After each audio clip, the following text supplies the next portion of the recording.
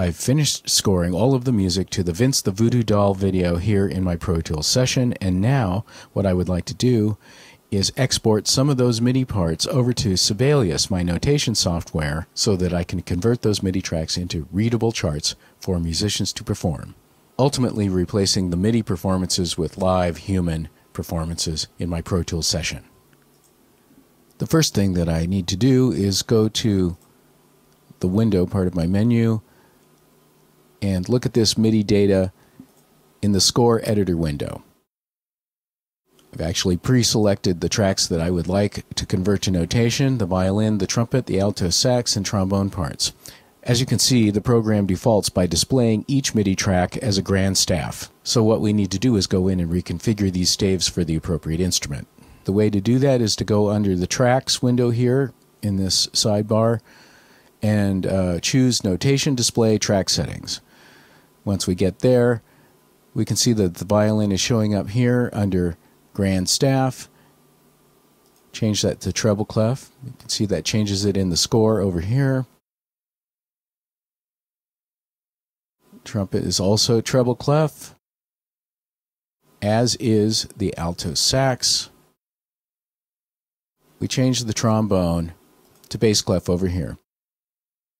And now we have something that kind of looks like how the score is going to end up looking after we export it to Sibelius, but Sibelius will give us the flexibility to make the parts more readable and presentable for the musicians. Now that the score editor window is configured the way we want it, it's time to export the MIDI data to Sibelius.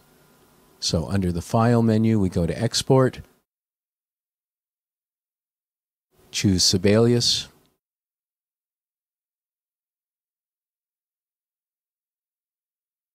and there we go.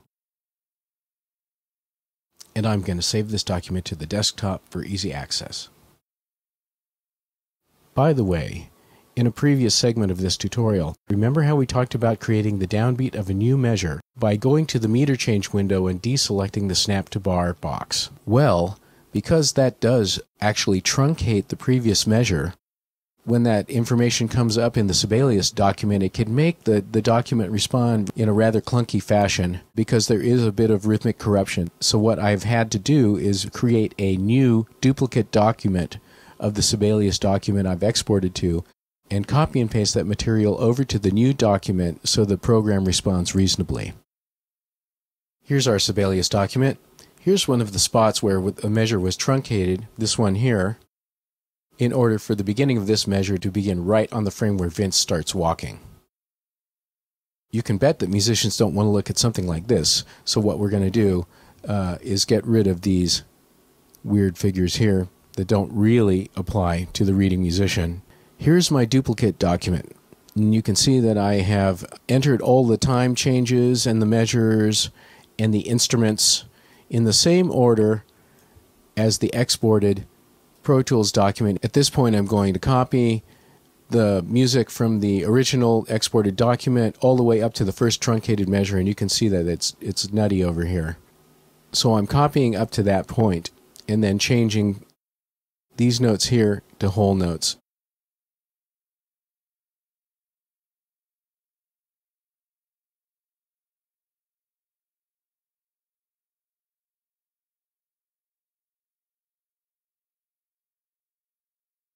Change these to whole notes by going over to the keypad, and you can also do it just by entering on the keypad of your computer. These are whole notes now. As well as time changes, there are some tempo changes, and at the beginning, it's a little bit slower than after Vince begins walking.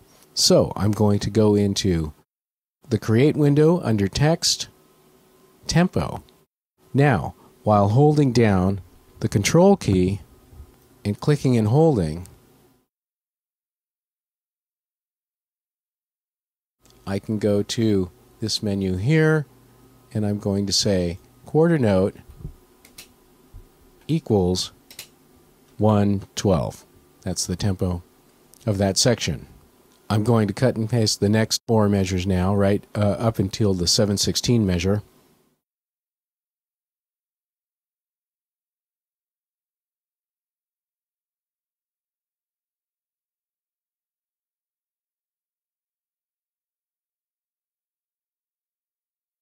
Okay, now I'm going to clean up this measure here. There really actually shouldn't be any note values in this thing. The next step is beginning to massage uh, some of this note data here because what I did in the Voodoo Vince Pro Tools session was I entered the MIDI data as swing and what the notation software has done is it, it's interpreted it as the precise note values that were in the session. And what I want to do is create a little sign which they call metric modulation, where eighth notes are to be interpreted as swung. And that starts at this measure right here.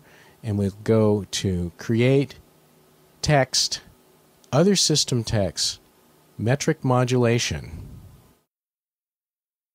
And by holding the control key, we go right here.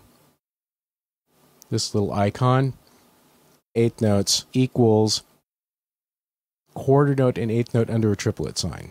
Now the notes can be converted to eighth notes,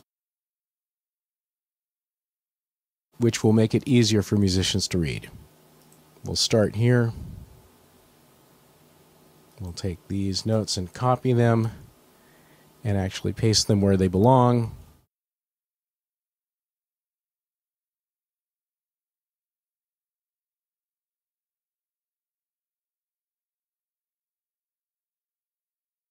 Which is this part of the beat right here. These will get turned into eighth notes.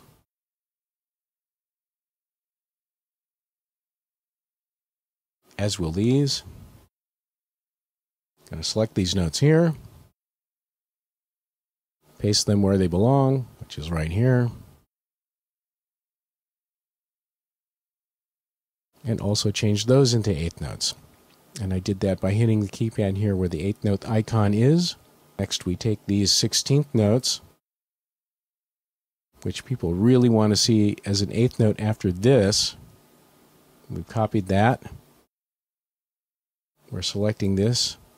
We're making those eighth notes instead of dotted eighth notes.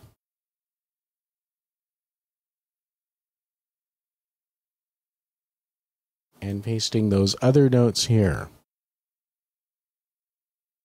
Making those eighth notes and then tying them to the next note. I did find this process to be a little bit involved, but I've certainly been through it before. Uh, another way to approach it is to actually duplicate the MIDI tracks in Pro Tools and straighten out all the timing so that they appear as eighth notes when you export them.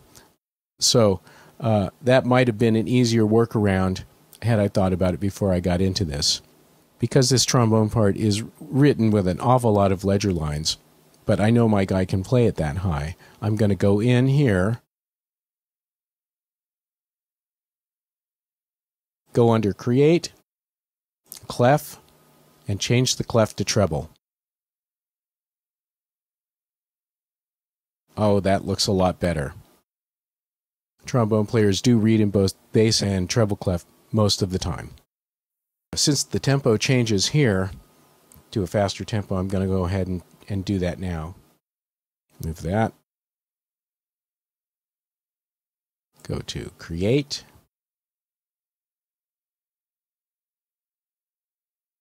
Tempo. Hold down the Control key, and here we go. Quarter note equals